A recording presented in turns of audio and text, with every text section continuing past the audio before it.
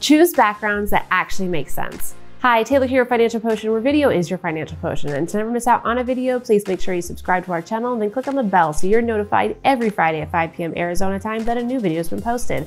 For one-to-one -one training or to support our content, please click above and connect with us on our Patreon page. Whether you're using Zoom or you're in a studio and you're using a green screen, you wanna make sure that you select backgrounds that make sense.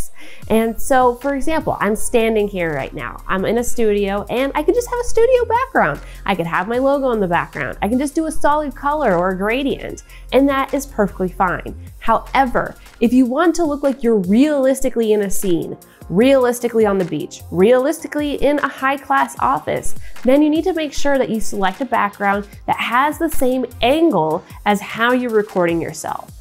So standing versus sitting, those are completely different angles. And you wanna make sure that you're selecting the background that has that same angle so you do realistically look in there.